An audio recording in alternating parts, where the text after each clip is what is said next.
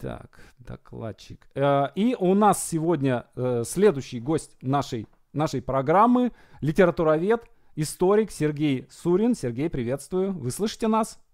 Да, достаточно хорошо. А вы меня? Да, я вас слышу. Тоже все нормально. Передаю вам слово. А, Значит, вот смотрите, как вы меня, наверное, будете прерывать, да? Я так краем уха Нет, если... Нет, просто с Лешей мы договорились о том, что у а, нас будет была, диалог. Вас договорняк. я готов просто сидеть и слушать. То есть у вас был договорняк. Смотрите, на самом деле, э, может быть, это и живее будет. Я могу вот такими тезисами говорить, останавливаться, и если вы хотите, вы можете что-то спрашивать.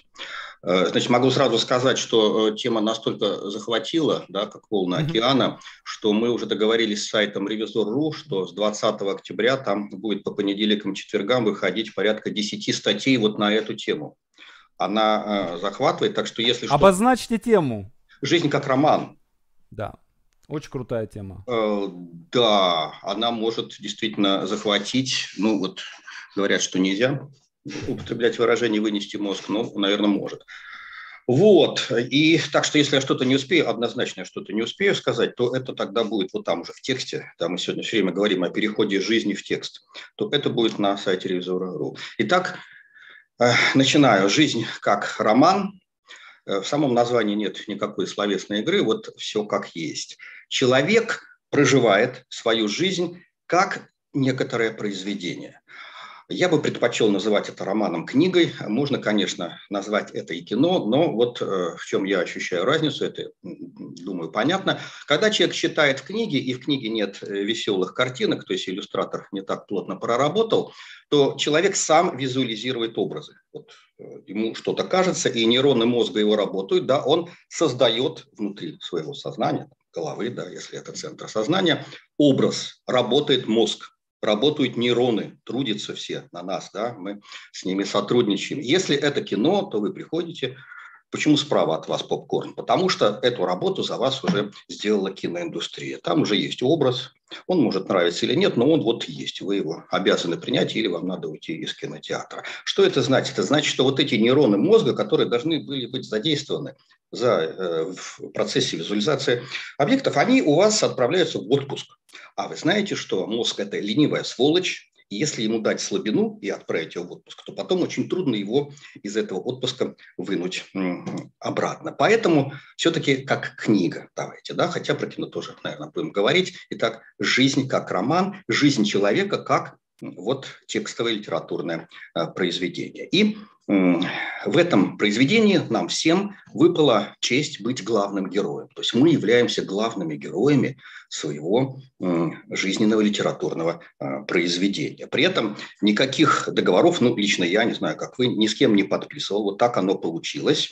Ну и э, с точки зрения оплаты, да, наше, что, в общем-то, в основном интересует, какой будет гонорар. Гонораром здесь может являться сама возможность появиться на свет, то есть сама жизнь является нам оплатой за то, что мы являемся главными героями нашего жизненного э, вот такого э, повествования. И чтобы ощутить вот это все, да, человек должен обладать рефлексией, то есть обращением ума на собственные действия. Вот э, у нас есть градусники для измерения температуры, там мы с утра можем ее померить. У нас есть приборы для измерения давления, а вот градусников для измерения уровня рефлексии у нас нет, а очень жаль, потому что и у разных людей рефлексия бывает разная, и в течение даже дня у одного человека, я думаю, что рефлексия скачет. Вот померили рефлексию, она высокая, ну и давайте обратим наши мысли вот на что-то очень важное. Если она низкая, то можно заниматься чем-то другим. И также здесь же э, было бы интересно сделать учебник по истории рефлексии, скажем, в России. Вот она когда-то появилась, ее когда-то было больше, когда-то меньше. А Пушкин говорит о Боротынском. Вот я сейчас делаю видеоцикл о Боротынском и всех приглашаю на YouTube-канал «Лекция Сергея Сурина», где все вот это и происходит. Значит, Пушкин пишет про Боротынского. «Он у нас оригинален, ибо мыслит». Если так вдуматься в эту фразу, то что получается? Это что до Боротынскому вообще говоря, не мыслили, или мыслили, но вяло, или рефлексия была на очень низком уровне. Ну вот Евгений Абрамович Боротынский действительно был человек с высоким уровнем рефлексии, и он эту рефлексию внес э, в свои э, тексты. Да, все, мысль до мысли. Итак, возвращаясь к нашей теме, любой человек, любой человек обладает какой-то рефлексией, даже скрытой, и значит у нас есть шанс осознать свою жизнь как роман, который разворачивается вот в реальном времени, вот здесь и сейчас. Мы э, переворачиваем страницы наших книг, как будто мы переворачиваем дни. Да? Вот мы засыпаем, и страница с ушедшим днем перевернулась и открылась страница нового дня. Вот так э, проходит время, можно сказать, да, используя термины вот нашей э, лекции. И Сейчас, э, естественно, я скажу о грустном. Понятно, что любая книга конечна. Книга – это вещь. Ну, вот, вот она лежит, в ней счетное количество страниц. И значит, в определенный момент будет перевернута, собственно, последняя страница любого э, жизненного э, повествования, любой книги. А дальше? А что дальше? Дальше либо эту книгу потом будут читать, либо не будут. Как говорится, тут у нас два варианта. Если она достаточно интересно, захватывающая, ее обязательно перечитают. Если нет, то нет. Вот я иногда захожу в районную библиотеку, у нас ощущение, что я попадаю на 50 лет назад, там все как было вот давно-давно, так и есть, только несколько персональных компьютеров появились на столах у работников. И там, вот когда я выбираю книгу, стоят такие тома, у меня такое ощущение, что их вообще никогда никогда не читал. Э, страницы поблекли, э, шрифт пожелтел, переплет начинает разваливаться – и, видимо, скоро их просто утилизируют, они превратятся в ничто. А есть книги, которые, за которые запись, очередь там вот пользуются успехом. Вот, наверное, судьбами тоже они, э, превращаясь в книги, они либо стоят на полке, их никто не будет брать, они так потихонечку растворятся в пустоте, либо они будут востребованы. Да, диванные судьбы или захватывающие судьбы. Вот я сегодня буду говорить цитату из Веневитинова. «Ты в мире молнии промчишься». Да? Итак, жизнь как роман. Лев Николаевич в романе «Воскресенье» говорил, люди как реки, я бы сказал сегодня, люди как книги. И участвуя в сюжете, я смотрю со стороны, как текут мои мгновения, мои годы, мои сны. Юрий Левитанский. Э, Александр, вопросов нет? Продолжаю. Хорошо. Э, это достаточно, на самом деле, тревожное состояние. Вот если вы способны ощутить себя э, в качестве героя своего, главного героя своего повествования. Почему? Потому что на вас лежит ответственность. Я думаю, что в подавляющем большинстве э, своем мы не любим брать на себя ответственность. Мы любим, чтобы ответственность была на других. Здесь же мы участвуем в сюжете. Сюжет-то, собственно, зависит в большей степени от нас. Конечно, есть обстоятельства, на которые можно сослаться, но не на кого перевести стрелки. Мы главный герой, мы делаем этот роман, значит, если что-то будет не так, то мы должны будем себя ругать. Это очень неприятно, это очень тревожно. Гораздо э, комфортнее ругать других, да, и э, на них переводить стрелки. Вот э, по поводу тревожного состояния. Наверное, вы помните, 40 лет назад, а может и не помните, был такой фильм с Микки Рурком и Де Ниро «Сердце ангела». Там этот Микки Рурк, он частный детектив, ему дает Де Ниро поручение найти какого-то человека. И вот он его ищет – насколько я помню, да, а человек все время ускользает. Вот только вроде вот, вот, вот, вот он, а раз его и нет. И в том числе, вот так память мне подбрасывает, эм, удается найти какие-то документальные э, кадры, хроники Второй мировой войны, где есть этот человек, которого Микки ищет, и хотя бы его лицо-то увидеть кого, потому что мы знаем только его имя, профессию, там, как музыкант. И вот мы видим, стоит солдат, да, а тут такой саспенс, музыка такая напряженная. Это солдат на, э, на экране, документальная хроника, начинает поворачиваться, это значит, мы его увидим наконец-то лицо, что, кого мы ищем-то. Вот поворачивается, и видим, что-то такое произойдет, и так мы его лица и не видим. Я не помню, или обрывается хроника, или он э, так и остается э, спиной. А оказывается, Микки Рух искал самого себя, это он самого себя ищет. Это он пытается прочитать свое литературное произведение, только забегая вперед, свой роман, да, а этого делать нельзя. И вы помните, что там очень все страшно заканчивается, когда Микки Рурк увидел свое лицо, то есть прочитал свою книгу, да, особенно ее финал. Там, в общем, все трагично. Это такой будет второй тезис, да, то есть ощущение тревоги, если мы все это ощущаем, нам удобнее читать э, про другого, да, другую судьбу. Здесь мы сторонние наблюдатели, здесь можно спастись попкорном спокойно. Мы там не участвуем в сюжете. Да, мы так смотрим со стороны. О, тут так, да. Далее. Э, следующий такой тезис, вот герои литературных произведений, я бы сказал, они с точки зрения ухода в прошлое превращаются в живых людей. Они такие же живые, как и реально живые люди, которые уже э, ушли из жизни. Вот мы на самом деле знаем об Онегине, о Чацком, о Печорине, я беру пушкинскую эпоху, поскольку я вот занимаюсь, гораздо больше, я думаю, на порядок больше, чем о каких-то наших родственниках, которых уже нет. А, ну, вот вы сами можете представить, например, вот какой-то у вас есть родственник, ну, не дай бог, но все-таки, например, он умирает, вы что-то о нем знали, потом приехали на похороны, узнали побольше, ой, вот а, тут здесь, вот, а.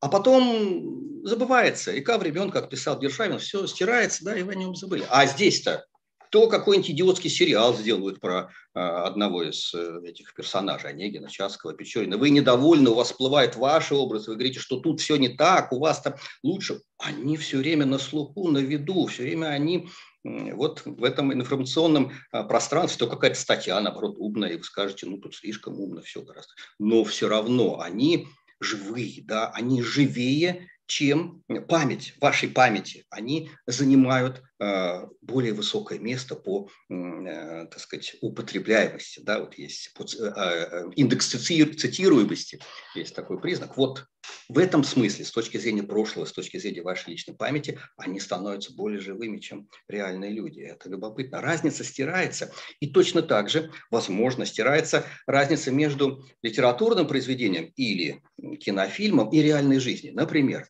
вы что-то идете, день хороший, вы все радуетесь, и вдруг бац, что-то вас кольнуло, дежавю. Вы так останавливаетесь и думаете, стоп, что-то вот, что, что это? Где-то я уже, наверное, где я это был, где это видел, год назад на юге, на севере, что-то, а потом до вас доходит, это не со мной, это просто фрагмент из кинофильма, он вылез из памяти, это просто какая-то страница книги, которая мне понравилась, она сцепилась с чем-то, что сейчас, и вот Э, меня спутал. То есть, э, когда я думаю, мы про память нашу тоже не очень много знаем, мы можем только делать догадки. Вот тот, кто сидит внутри нас и составляет нашу память, он не айтишник, кибернетик, который бы каждому фрагменту сделал бы еще параметр, в самом делешнее это реально или это виртуально. Там все в одной куче. И на поверхность, в оперативную память выходит то, что ярче, то, что вас в свое время зацепило. А это уже не важно, что это. Это текст, это книга, это кино или это фрагмент из вашей реальной жизни. Что сильнее зацепит, то и память, наверное, и выбрасывает. Обратите внимание, что, возможно, первым у нас стер вот эту грань, точнее, совместил в одной плоскости виртуальное и реальное, ну, понятно, кто Александр Сергеевич Пушкин, кто бы еще мог, да? А, это э, примерно можно сказать, что это в районе 1823-24 года. Что там произошло-то? А там в его тексте, который все знают, за столом по конкретному адресу Невский, 15, Санкт-Петербург, где находился самый дорогой и престижный ресторан «Телеон», встречаются за столом абсолютно виртуальный, призрачный персонаж Евгений Онегин, такой выдуманный, и абсолютно живой, да еще какой живой человек Петр Каверин. Легендарный гусар пушкинской эпохи, сейчас два слова о нем. Вот если бы я составлял такой рейтинг самых витальных судеб, а значит, самых захватывающих книг судьбы пушкинской эпохи, то на первом месте был бы, конечно, Федор Толстой «Американец», не успеем про него сегодня сказать. А вот на втором месте вот это гусар-легенда, легендарнейший человек Петр Павлович Каверин. И вот этот реальный человек, Ему тоже тогда было в 24 году, ну, э, до 30, там, 28-29 лет. Вот он, Пушкин его усаживает за стол с абсолютно виртуальным, призрачным Евгением Онегиным. И они там, стесняюсь сказать, пьют э, шампанское, там, э, жир котлет и так далее. А, вот под это можно провести какие-то, подвести совершенно глобальные мысли, идеи, они сами, мне кажется, подводятся. А как это у Пушкина? А легко как перышко, непринужденно. Вот так вот, э, проходя мимо, жуя мандарин, решил теорему Ферма да, и пошел дальше. Ну, это же Пушкин, да, он как ну, Моцарт, Пушкин. Вот это Боротынский о нем пишет. «Сей ветреник блестящий, все под пером своим шутя животворящий». Он все, даже глобальное делал шутя, проходя мимо. Да, вот там ну, мандарин, апельсины, по-моему, он любил, не помню точно. Я уточню, какие цитрусовые были в фаворе. И в этом же году, примерно в 1824 а, видимо, продолжая эту тему, что-то его внутри зацепило. Может быть, он отчет о себе не отдавал. Он делает рисунок, знаменитый рисунок, где сам Александр Сергеевич э, Пушкин, живчик еще тот, вы знаете, тоже витальность, мама, не горюй. С кем он стоит рядом? С Евгением Онегиным. С виртуальным, призрачным, нездешним персонажем. Вот они стоят у парапета и а, о чем-то мило беседуют. Вот это примерно все было в одно и то же время. Значит, а, да, у древних греков, а, естественно, в большом объеме э, совмещались э, в одном тексте боги и люди, да, вот Илиада, что угодно. Но Э, это совсем другое, потому что для греков боги были не виртуальные. Это были абсолютно живые люди. Только у них был вот один параметр – это бессмертие. А во всем остальном, ну вот такой же, да, с ним можно было э, поздороваться, о чем-то попросить э, и так далее. Вот так трактовали греки. То есть это немножко другая история с Илиадой. Я бы единственное, с чем сравнил в этом ключе, да, с мифом об Орфее, потому что все-таки там абсолютно реальный человек Орфей, ну, Орфей наш, вот он здесь Орфей, он э, входит туда, куда ему нельзя. Пушкин же тоже, можно сказать, делает то, что нельзя. Он сажает за стол виртуальное и реальное. Да?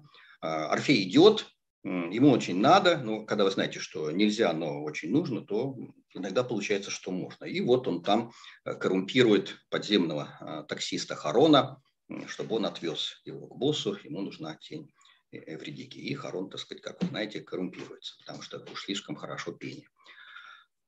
Вот, кстати, но при этом даже вот этот миф, который можно, на мой взгляд, как-то сравнить с тем, что э, делает Пушкин, сажая за стол Каверина и Онегина, он же он глубоко трагичный и тягостный. То есть нет повести печальнее э, на свете, чем миф об Орфее и Евредике. А у Пушкина это все э, забавно, живенько, легко, непринужденно. К Тальон помчался, он уверен, что там уж ждет его Каверин. Вот и все. Далее я хочу сказать, что у каждого из нас, наверное, при чтении возникают в голове какие-то образы. Да? Ну, собственно, вот о чем я говорил. Работают нейроны, пока еще работают, и слава богу.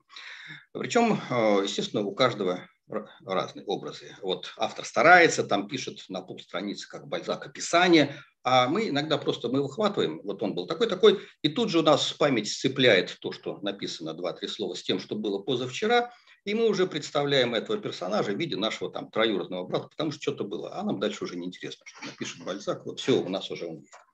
Бывает так. А бывает, что актер, раз уж сценаристы, да, э, гениально сыгравший и подходивший, вот его так выбрали, да, для роли, я имею в виду экранизацию классики, он вытесняет все другие образы. И вот теперь мы мыслим его уже так. А со мной, а, по крайней мере, и я думаю, не только со мной так случилось, когда в моей глубокой молодости, сто назад, сыграл Раскольникова Георгий Тараторкин.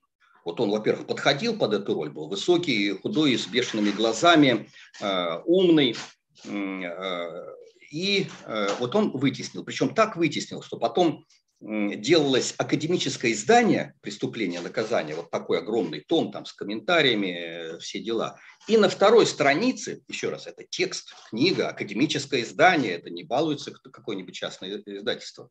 На второй странице, на белой, в правом верхнем уголке, 3 на 4, фотография Таратуркина в роли Раскольникова. Вот э, бывает и так вот все совместилось, текст, жизнь, все перемешалось. Дальше. Переход из жизни э, в текст, собственно, о чем мы говорим, да, вот это совмещение, это романтическая идея, то есть идея эпохи романтизма. У нас это, конечно, связано э, с пушкинской эпохой, и мы говорим о дворянах. Да, когда мы говорим все-таки о пушкинской эпохе, мы говорим о дворянах, а, потому что дворяне составляли вот такую элиту в хорошем смысле слова. К сожалению, у нас большинство слов уже потеряло свой смысл или потеряло свой позитивный смысл. А дворяне тогда, они э, передавали традицию. Они передавали традицию, они формировали язык, они формировали сознание. Они э, были очень хорошо образованы, и это были, было в фаворе образовано. Они много читали. И это э, была группа, которая передавала эстафету традиции. Это очень важно. И у них действительно жизни бывали как романы. Вот еще и почему. Потому что жили коротко не было антибиотиков, а, медицина была примитивная, постоянно были войны, постоянно были эпидемии, холера, а, чума, детская смертность. И человек понимал, что все равно он, наверное, проживет-то немного, но если не одно, то другое. И наверное, ты в мире молнии промчишься, да, так надо попробовать вот эту жизнь, сделать из нее роман, ну, если не роман, то повесть, да, ну, такую яркую, чтобы как молния, чтобы она захватила. Потому что, ну, все равно, это, в этом году, там, через полгода, что-то должно случиться, что унесет жизнь.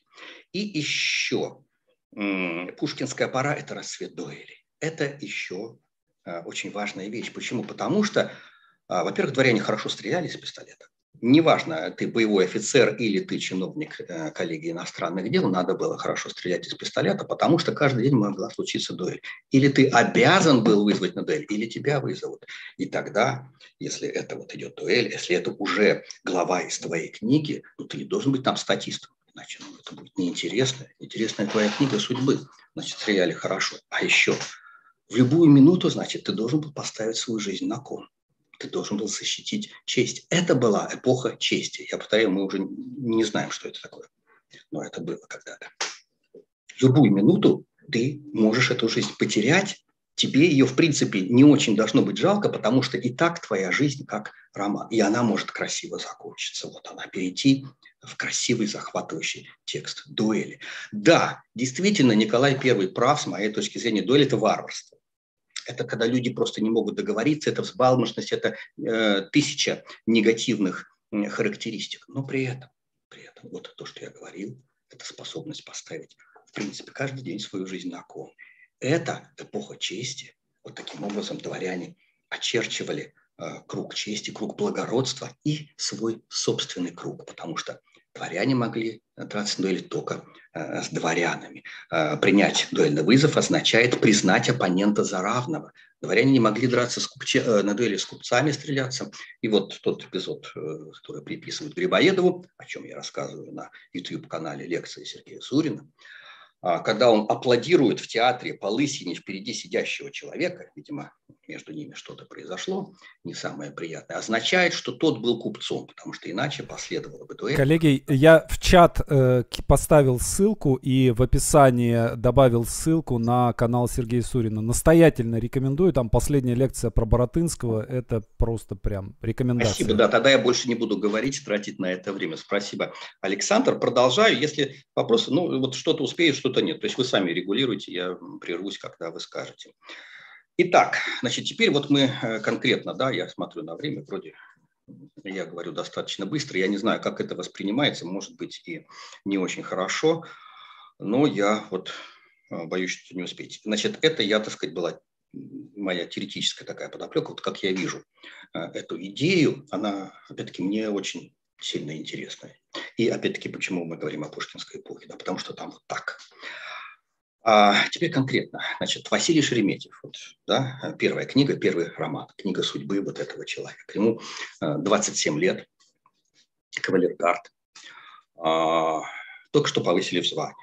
Молодой, красивый, но они все там красивые. Вот это и сегодня я э, про кого успею из Пушкинской эпохи удивление. Я не знаю, как-то их там выращивали, что ли. Вот посмотрите на их лица. Ну, сегодня такие-то надо, я не знаю, на, когда подбирают актера, надо э, этих самых проб сделать, чтобы найти такого. А там, вот, пожалуйста, кого не возьми, ну, просто красивое лицо. Так, Василий Шереметьев. И вы знаете, что Шереметьевы одни из самых богатейших людей были. То есть, в общем-то, перспектива, ну, вот, все, молодой, красивый, богатый, э, кавалергард. Ну, правда, взбалмошный. Вот что есть, то есть. И с отцом поспорился, э, поссорился. Ну, вы знаете, где поссорились, там помирились. Это есть, взбалмошный. А, четверная дуэль. Не буду рассказывать все это, и можете где угодно прочитать, и на YouTube-канале. А, я об этом подробно рассказываю. Значит, э, он стреляется с Александром Заводовским. Это такой интеллигент в очках, э, коллеги иностранных дел, друг э, Грибоедова, тоже, видите, в очках, очкарики как-то сдруживаются. А, кстати, он был англоманом и впервые вез и стал пиарить в России виски. Вот Александр Заводовский такая, если деталь. Вот они стреляются там из балерины, из Томины. Больше не буду про это. Буду следующее. Значит, условия Жуэли очень жесткие. Я бы сказал, жестокие. 18 шагов, 6 шагов барьеры, которые нельзя переступать, и по 6 шагов от барьера каждый отходит. Ну, это 15 метров, так можете прикинуть. Повторяю, стреляли хорошо. Заводовский стрелял очень хорошо еще раз говорю, что в любой момент можно, может могла состояться дуэль, надо было стрелять хорошо. Неважно, кто ты, боевой офицер, как Шереметьев, или чиновник, как Заводовский. Они начинают сходиться по команде, и э, Шереметьев, как человек вспыльчивый, стреляет первым. И промахивается. О, пуля сбивает сюртук, разрывает сюртук Заводовского, возможно, царапина, да, то есть еще не более. И вот здесь феноменальная фраза Заводовского. Я в лекции про нее не заостряю, но вы только послушайте. То есть тут не только гусары молчат, тут, ну, фантастика. Представьте себе эту ситуацию. Э, Заводовский видит, что у него эм, разорван сюртук, царапина, и говорит, а ты что, меня убить хотел? Феноменально. А на самом деле, как мне кажется, что происходит? Заводовский уже был в своем романе, он был там в виртуале, потому что это же романтика, дуэль. Потом все женщины будут говорить. Виртуале же не может ну, что-то совсем плохое случиться. Да? Там как бы все немножко э, понарошку, там чуть более красиво, чем вот в этой реальности. И вот он уже был на страницах своего э, романа. И вот эта пуля вдруг из э, текста его обратно возвращает жизнь. И вот эта фраза, может там глупая, смешная, фантастическая, у него просто вырывается. А ты что, меня убить хотел? Мы же там. Нет, мы здесь, да. Вот. И Заводовский кричит к барьеру. Что такое к барьеру? Это из дуэльных правил. Если первый стрелок на дуэли стреляет, не доходя до барьера и промахивается, то второй имеет право сказать к барьеру, а это значит, что первый должен подойти к своей стороне барьера, встать, ну как угодно, видимо, естественно, боком встают, и стоять ждать, пока второй выстрелит, а второй может целиться сколько угодно. То есть это просто стрельба на поражение. Ну вот не избежать либо смерти, либо тяжелого ранения. Все бросаются к Заводовскому, кто все, значит, Грибоедов, который был секундантом, Якубович секундант, Шереметьева, доктор, он понятно, и Петр Каверин, тот самый, который сидел за столом с Онегиным, спрашивается, а этот-то что сюда, как это мягче сказать, пришел? Доктор-то понятно, а этот что? А любое событие в пушкинскую эпоху становилось событием, если там присутствовал Петр Каверин. Все уговаривают Заводовского, ну что ты будешь стрелять в него, ну ты ну что, что? И Заводовский понимает, да, все, говорит, да, ладно, проехали, я стреляю в воздух, идем пить шампанское. Да. И в этот момент что говорит Шереметьев? Шереметьев говорит, нет, если ты выстрелишь в воздух, я следующим выстрелом вот отсюда уже тебя убью. Расстояние между ними уже было примерно 5 метров.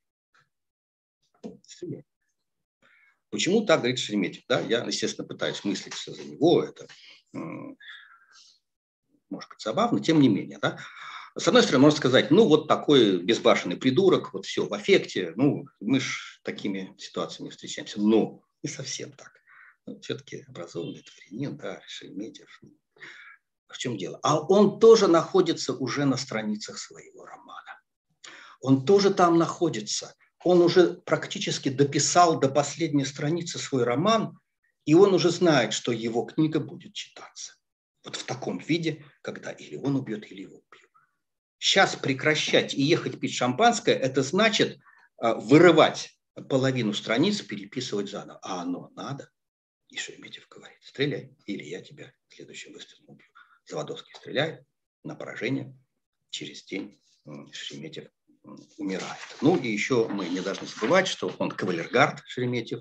Это примерно то же, что гусар, а есть знаменитая э, поговорка о гусарах, да, что если гусар дожил до 30 лет, то это не гусар. То есть он, гусар, должен сжечь свою жизнь, ты в мире молнии промчишься, или умереть в бою, или э, на дуэли, или упиться на хмельной пирушке, что-то должно с ним произойти нормальное гусарское. Если он доживает до 30 лет и дальше, значит, он какое-то инородное тело, да, а, чужой среди своих. Вот мы поговорили о э, книге судьбы Василия э, Шереметьева, о его романе. Далее, Федор Гагарин. А, Федор Гагарин тоже легендарный гусар. Не такой, как Петр Каверин, но со своими изумительными легендами и так далее. Вот примерно это а, пораньше. Если четверная дуэль была в 1817 году, это лет 14, э, наверное, раньше, до Наполеона, Царицына. Пикник, выпили, закусили, и э, вот ходит, а Федор Гагарин все время тоже искал приключения. Почему люди ищут приключения? Потому что они пишут свою книгу, которая должна быть интересной. И вот ничего интересного не происходит. Книга стоит на месте, да, повествование, ну, это что, вяло все. И вдруг он смотрит, офицер Сергей Новосильцев, э, целится из пистолета в птицу. Тут же, из, э, э, так сказать, Гагарин говорит, слушай, в птицу ты и дурак выстрелит, ты в человека выстрели. Все так уже гуляли, уже смотрят, о, пошел интересный текст, наверное, сейчас будет глава хорошая. Да? Новосильцев подхватывает и говорит, в человека, это в тебя, что ли? Ну, хотя бы в меня, говорит Гагарин. И вот все уже э, смотрят, сейчас, сейчас все уже попали в текст, да, сейчас что-то будет, потом все, это будет роман, который читать. И Новосильцев стреляет в Гагарина. Тут до всех доходит, что тексты текстом, да, а вообще что-то такое странное происходит. Все бросаются к Новосильцеву, отбирают от него пистолет и говорят, что, наверное, пистолет-то был сломан, ну, иначе бы не выстрелил. Конечно, роман-то интересный получается, но как-то это все немножко странно. И проверяющий пистолет, значит, э, стреляет в воздух, а пистолет выстреливает боевым патроном. Сверху падает забитая ветка. Гагарин начинает кричать, ты меня, как Заводовский, хотел убить, дуэль. Но вот это уже не нужно. Все. Вот э, глава дуэли на пикнике состоялась. И вот здесь они мирятся, потому что все и так понятно. Да? Опять-таки я говорю, что глава написана, она интересная. Они идут пить шампанское, уже дальше все понятно, мирятся и так далее. Конец главы. Далее, так, время у нас вроде позволяет. А, вот мы сейчас чаще вот в данный момент я говорю об уходе, об красивом уходе из жизни, о переходе из жизни в текст. И я буду говорить о двух таких вот уходах из жизни, которые не связаны с выстрелами, не связаны с дуэлями. То есть дуэльное состояние – это не только в пушкинской эпохе было, не только связано вот конкретно. Да, когда вы перед дулом пистолета вас стреляют или вы должны тоже убить. Наверное, тоже непросто. Вот. А мы, я сейчас скажу о Дмитрии Веневитинове, Веневитинове и Андрее Тургеневе. Если я вам сказал о своем м, таком рейтинге самых витальных судеб пушкинской эпохи, да, на первом месте Толстой американец, потом Петр Каверин, безоговорочно, то, наверное, можно сделать им такой список самых оборванных на полуслове судеб эпохи. Вот здесь на первом месте будут два человека, сложно сказать, первым тоном стран, да и не нужно это, вот эти персонажи. Дмитрий Веневитинов, он уходит из жизни в 21 год и 3 месяца. Так, думайтесь. И Андрей Иванович Тургенев, 21 год и 9 месяцев. 21 год. Вот вы только подумайте, да, вот кто постарше, что мы представляли собой 21 год. Ну, примерно это четвертый курс института, да, мы еще и так толком-то не знаем, что мы будем делать. А эти люди уже уходят из жизни, и мы сегодня их знаем, о них вспоминаем, вот как сейчас, здесь и сейчас. Дмитрий Вененитинов, а, поэт молодой, популярный, а, философ, такое было, да, в 20-е годы, вот поэты становились философами, он создает с Адоевским э, Владимиром кружок э, общества любомудров, там они занимаются немецкой философией Шеллинга и так далее. Он э, в фаворе, как мы говорим, в топе. Почему? Потому что вроде же есть и Пушкин, и Боротынский, это 27-й год, 1827 год, но есть такой момент. Вот. И Пушкин и Боротынский писали оба по очереди. Сначала Боротынский, потом Пушкин что в России поэт может быть вот именно популярным, в таком вот популярный-популярный, в 18-летнем или 20-летнем возрасте, потому что он еще пишет с порывом, может быть, это все не очень умно, но вот, вот сентиментально, и аудитории это нравится, она его поднимает на руки, она его носит, потом поэт начинает писать более глубокомысленно, да, какие-то появляются рефлексии, и, значит, аудитория, которая его несла, она его так пускает, говорит, а ты, ты вообще, ты тот или не тот? Что-то мы, мы-то того любим, а что ты пишешь-то вообще? Вот в этом смысле, почему стали гораздо менее популярны Пушкин и Боротынский в 30-е годы. Вот поэтому они повзрослели, уже совсем пошло другое. А аудитория привыкла вот к этому терскому или к сентиментальному стилю. И вот таким стилем как раз часто и обладал Веневитинов. Он был, может быть, даже чуть более популярным, чем э, наши гении его фразы. Ты в мире молнии промчишься. И вот вот на таком уровне будущей перспективы, вроде казалось будущее, да, вот впереди все, ну, собственно, как и у Шереметьева. А, в Петербурге март, а, холодно, сыро, ветер – Венемитинов выскакивает с какого-то бала приема, не надевая пальто или шубы, и бежит куда-то им надо было, в какой-то флиге. Вот такой да, вопрос остается, а что было шубу-то не надеть? Но, с другой стороны, понимаете, эпоха романтизма. Вот как ты пишешь, ты то и есть. Если ты написал, ты в мире молнии промчишься, то у тебя какой-то порыв, срочно надо туда, и ты что, будешь надевать шубу, застегивать все пуговички, как бабушка велела, шарф повязывать, и потом осторожненько, обегая ветер, тогда ты, ты или так, или так.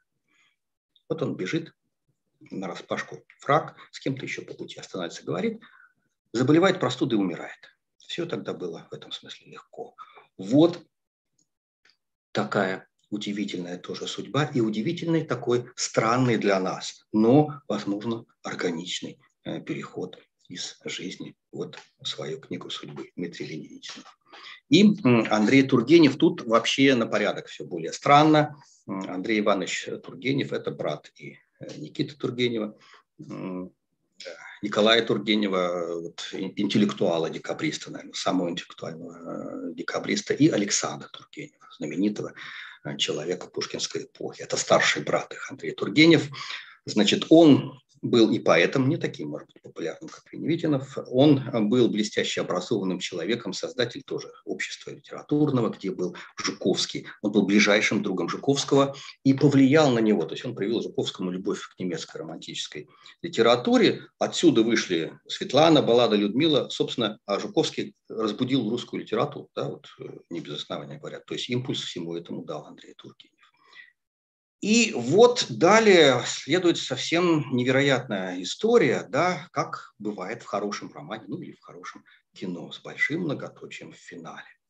Бывает, да, что мы ничего не поняли, идем на какой-нибудь э, сайт и смотреть, о чем же был фильм, да, почему же он так закончился. И там нам разбирают э, финал. Говорят, что вот, ну, вот, наверное, поэтому. Здесь, к сожалению, нам некуда пойти, потому что это большая загадка. Андрей э, Тургенев приходит домой в мокрой одежде, ну, видимо, дождь, Видимо, намеренно он пьет либо холодный чай, либо по другой версии ест холодное мороженое и в мокрой одежде ложится спать. Зарабатывает пятнистый тиф, умирает.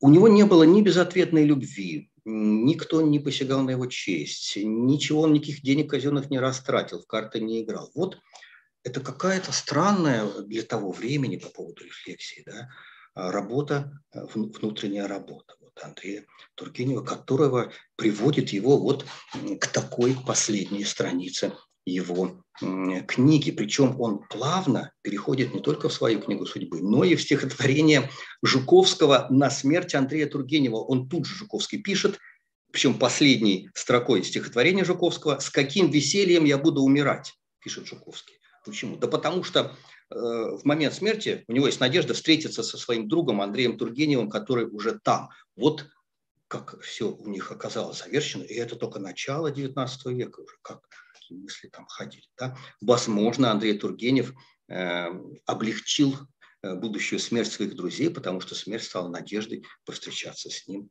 вот там уже после смерти в каком-то общем романе. Очень загадочная книга судьбы Андрей Иванович э, Тургенев. Так, по времени вроде мы вписываемся, поэтому я еще скажу до последнего персонажа, еще о Михаиле Долгоруке. Значит, если вот предыдущие два были поэтами, то и Шереметьев первый, о ком я говорил, и Михаил Долгоруков – это э, военные. Только Долгорукову тоже было 27 лет, но он уже был генералом, 27 лет, генерал-майором. Это все то же самое, блестящий, образованный, ну, красавец из красавцев. Почему-то его изображают на портретах только в профиль. Видимо, если изобразить э, фанфаст, то это было бы уже такая красота, что смотреть на нем было бы невозможно. Вот только в профиль он есть, можете посмотреть, такой с удивительной прической, как правило, рисовали. А, в него влюблены были все женщины. А, великая княжна Екатерина Павловна, а, в принципе, была а, готова на брак да, только император Александр I, он был, считал Михаила Долгорукова своим другом, ну, другом, не другом, так, хорошим товарищем. Он был не против этого брака, а, была против вдовствующей императрицы Марии Федоровна, но пока вот суть до дела, с Михаилом Долгоруковым жила знаменитая а, ночная княгиня Авдотья Голицына несколько лет. Да, тоже одна из, скажем так, топовых красавиц пушкинской эпохи. Ну вот у человека получалось все. это, наверное, был человек все-таки с самой блестящей перспективой. Ну вот подумайте, 27 лет, красавец из красавцев может э, жениться на великой княжне, э, друг э, императора, уже генерал-майор. Ну вот что может быть впереди светлее, чем у этого человека? И вот в 1808 году он едет, э, была шведская война, э, в Финляндии, э, вот на таком подъеме Значит, он вступает в, резкий, в резкую ссору с тем, кто там был военнокомандующим Николаем Тучковым. А, Тучков на 15 лет старше. А, Долгоруков хотел всем командовать, естественно, Тучков его осаживает, между ними ссора, Долгоруков вызывает его на дуэль. Это и легенда, и факт. Мы сейчас, для нас не важно, мы говорим о книге э, судьбы. Да? Тучков ему говорит, что, слушай, ну, генералы на дуэли во время войны, как-то это не, это не совсем то. Давай так, вот завтра в первой линии нападения там, или обороны, мы оба выйдем с тобой, да, и посмотрим, вот кого пуля сразит, если сразит, значит, тот, в общем, не прав в данном споре. И на следующий день Михаил Волгоруков, вот этот красавец, идет сюртук на распашку по краю дороги, без всяких мер предосторожности, отдает указания адъютанты на лошадях от него в одну сторону, в другую. И не пуля его сразила, ядро точечно, вот только его разорвало на части. Рядом были люди, окружение, его адъютантом был вот тот самый Федор Толстой американец, никого вообще не задело. Как будто вот точечно послали ядро, да, чтобы его вот таким, как он был, перенести сразу э, в роман, в его роман, вот в эту книгу, да, оборвать вот так вот на полусловие, это же так тоже э, хорошо э, стратегически так оборвать роман, да, оставить, чтобы читатель домыслил.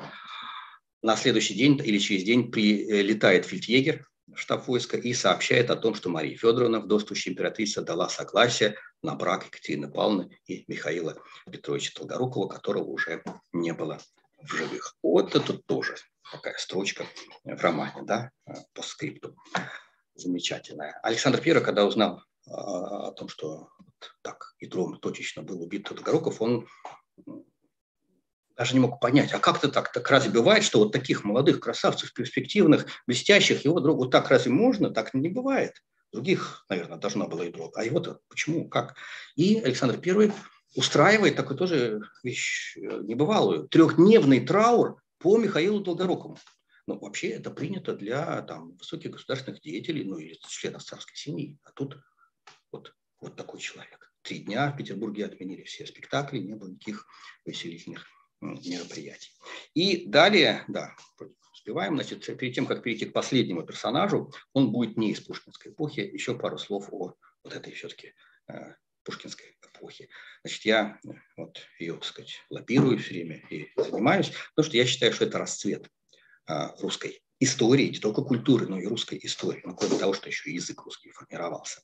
И вот в том числе и поэтому потому что жизнь люди ставили на кон, вот, вот все, что я сказал, вот это все пушкинская эпоха, она и дала такой взрыв расцвет. Вот древние греки, э, раз уж упомянутые, э, придумали термин «акме», это такая точка в жизни человека, когда он достиг э, высоты самой большой самореализации и ощущения счастья. Да? Вот дальше там, возможно, пойдет спад. Вот это акме у нашего этноса, наверное, было все-таки в пушкинскую эпоху. А теперь я скажу, вот, наверное, последний персонаж о человеке XVIII века, причем еще и первой половины XVIII века. Сейчас, секундочку. Мы очень мало знаем про тех людей. Э, еще так, письменность была не очень развита, литература. Знаем, конечно, Петр Меньшиков, вот эти все э, любопытные дела. Ну, сериалы Ломоносовы, понятно. А других-то людях, в общем, почти, почти ничего не знаем. И вот этот Никита Юрьевич Трубецкой. Почему, кстати, мы с ним были заочно все практически знакомы? Потому что каждое воскресенье советские и российские люди, я не знаю, как сейчас, кстати, они включали телевизор, смотрели игру «Что, где, когда», а где она происходила? Она происходила в усадьбе, которую в свое время построил Никита Юрьевич Трубецкой. Причем архитектура тогда была очень продвинутая для того времени, очень необычная. Значит, а, что в нем такого уникального? Почему его книга судьбы – это один из самых захватывающих романов, наверное, вообще в русской истории? Ну, так я условно говорю.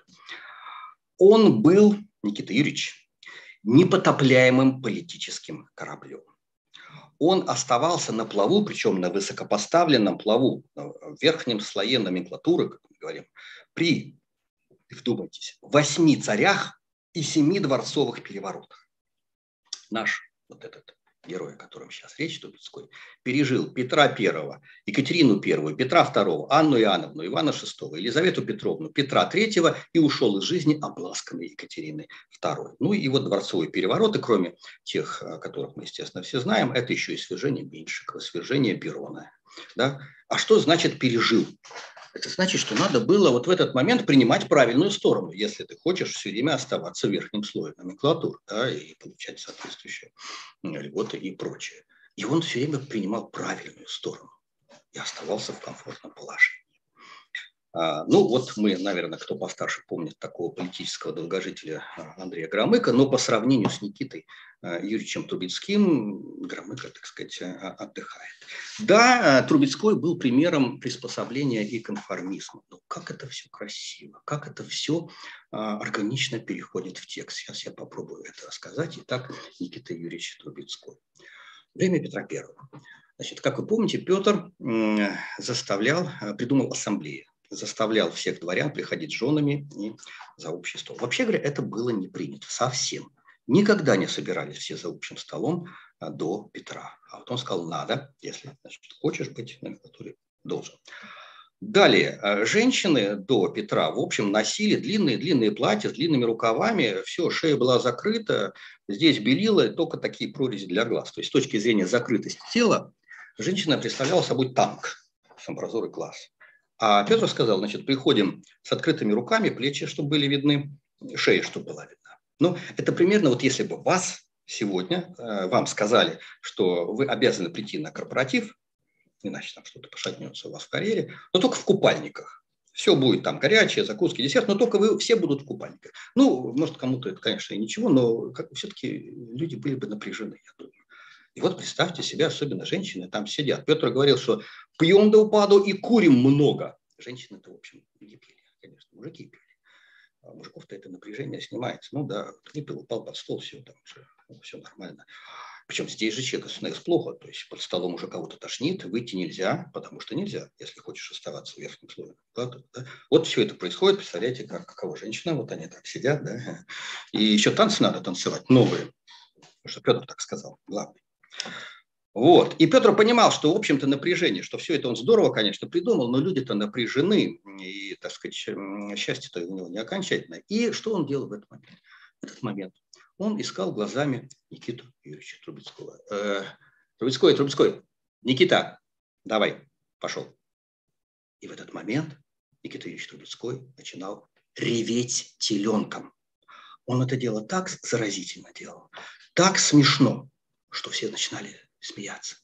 Откровенно от души до слез. Все, напряжения нет. Смех, вот если он происходит, снимает напряжение лучше, чем алкоголь. Все, напряжения нет. Да? Спасибо, Трубецкой, говорил Петр Первый, и Трубецкой оставался там, где он хотел быть. Вот были у царя ловчий, стряпчий, былый и ревущий. Никита Трубецкой. А Елизавета Петровна, время Елизаветы Петровны. Естественно, никакие эти ассамблеи с этим всем безобразием Елизавете Петровне были не нужны. Елизавета Петровна любила театр, она его понимала. Елизавета Петровна любила балы.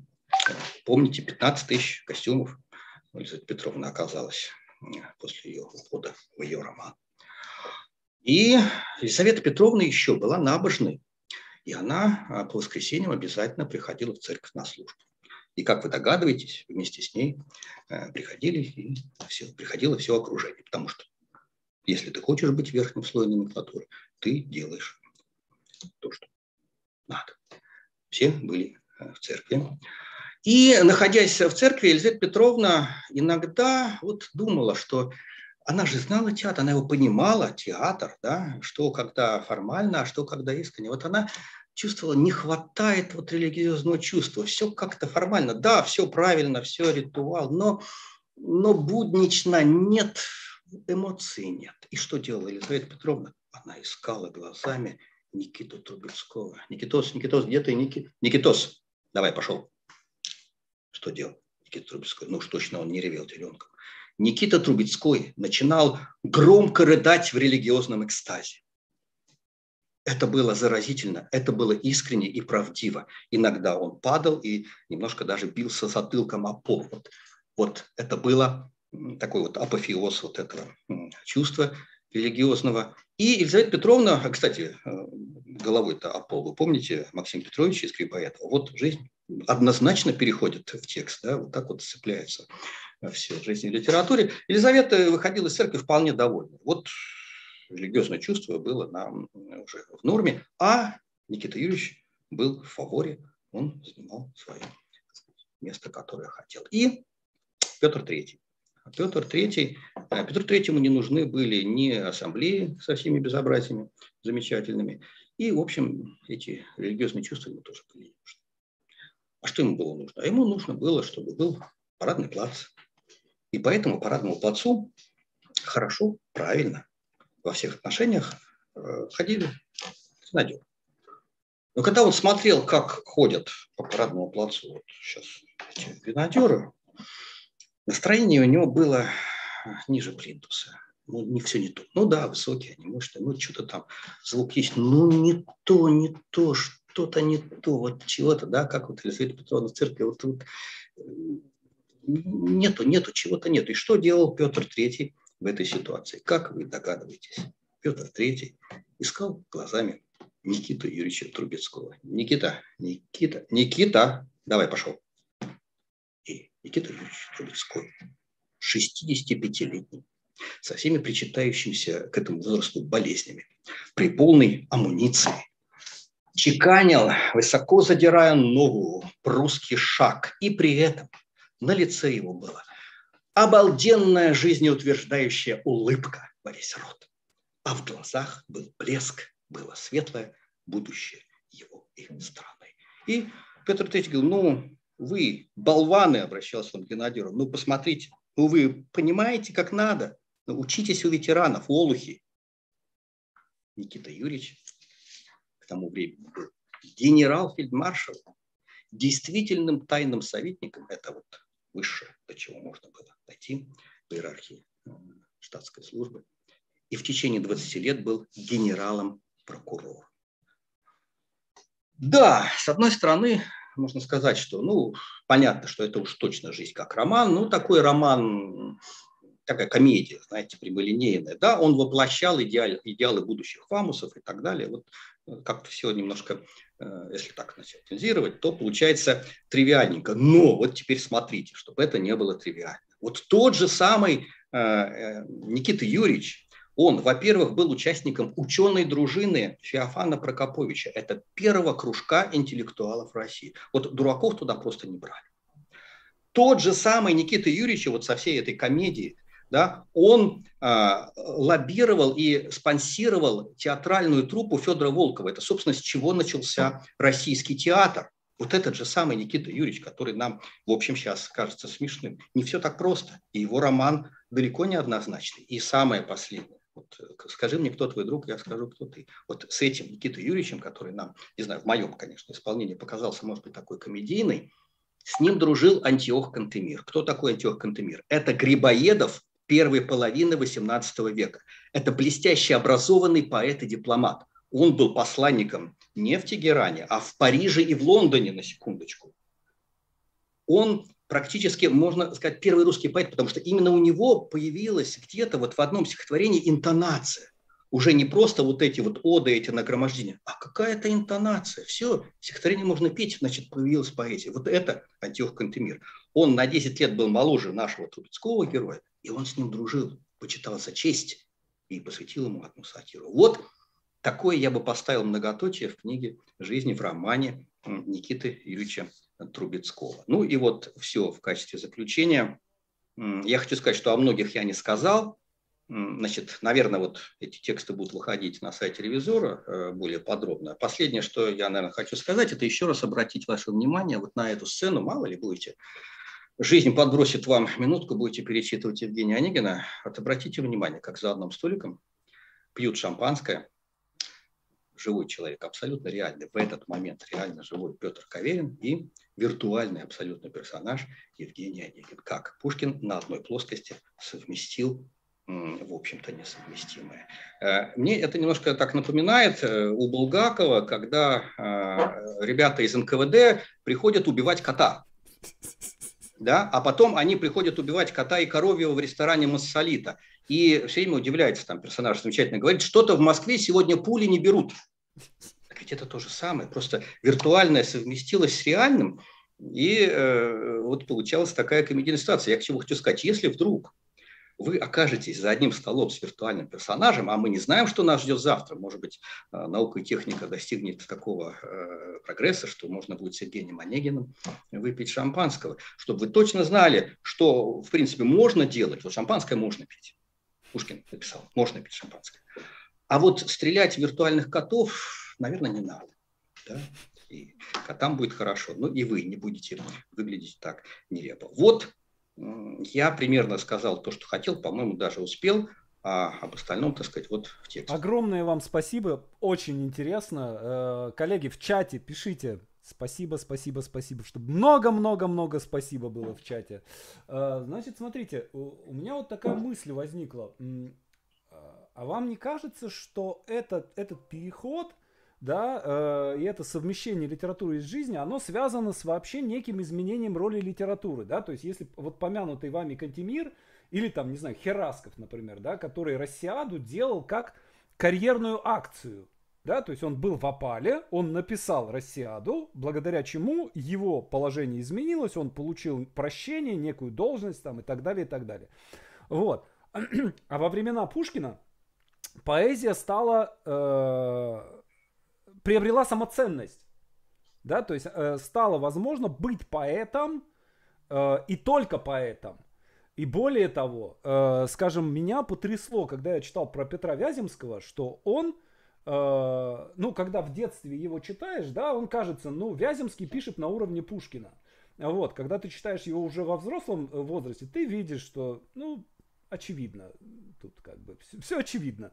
Вот, и он себя считал поэтом-дилетантом да, то есть он главным считал государственную работу, но он участвовал в разработке Конституции, например, в возрасте 24 лет, а поэзия это другое, да, и коль, коль так, да, коль ты понимаешь, что поэтом ты быть не можешь, только дилетантом, значит, что тебе остается? Тебе остается творить жизнь, чтобы жизнь стала поэзией, да, то есть и появляется концепция жизни как, вот этой жизни как романа, да, то есть это связано с большим влиянием литературы на общество, изменением роли литературы в обществе.